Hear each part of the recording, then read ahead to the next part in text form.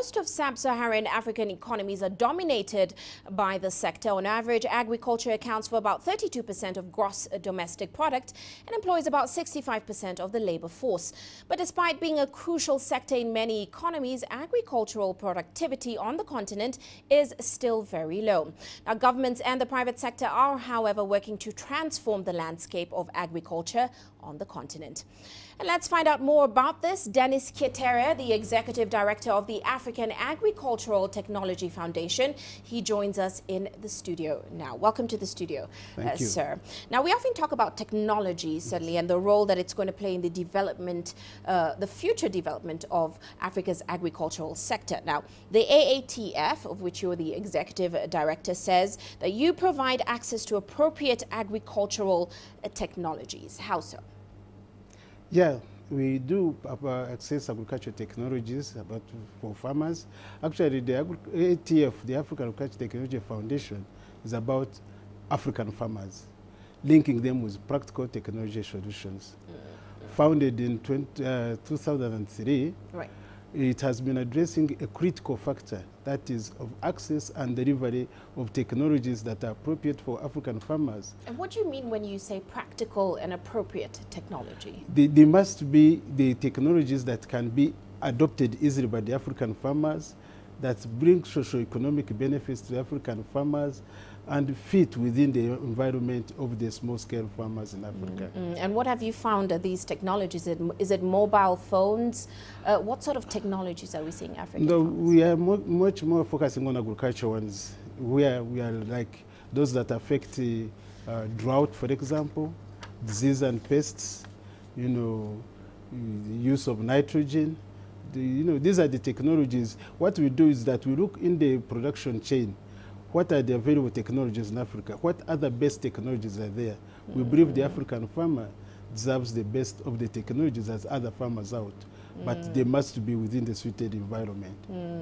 Now, looking at the changing landscape of African agriculture and certainly to the future, uh, what it's going to bring, we're seeing some of the governments slowly changing their minds when it comes to GMOs, uh, for example. Where do you see that going?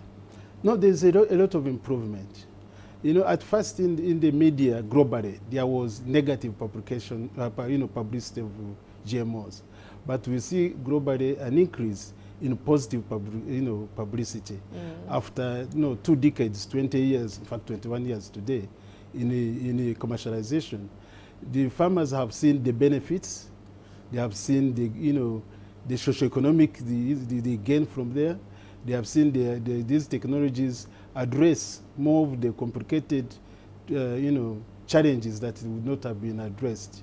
Of course, it is they are used with combination of other conventional technologies. But there was a lot of resistance. There was a lot of resistance. No, but uh, in we must praise the media, yeah, you people.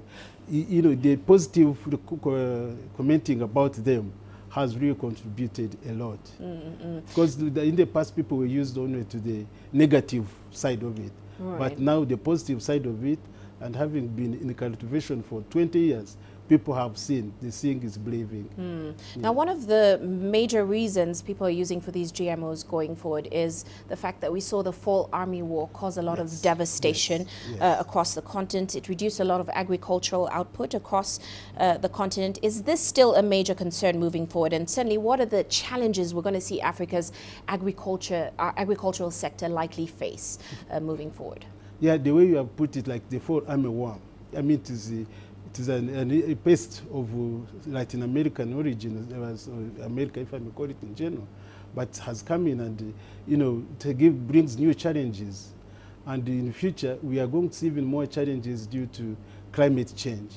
So this is where, you know, African governments should be posed in such a way that they're able to accept all kinds of technologies to form an, what I call an in- integrated package so that you have the GMOs, you have the best practices, you have the, uh, the policies, the regulations that are favoring the uptake of these technologies. Yeah. And, and what about the fall army worm? Do you think it's going to be a major problem in the coming It is already a big problem and has come to stay. And what are your thoughts about how it's been handled moving forward?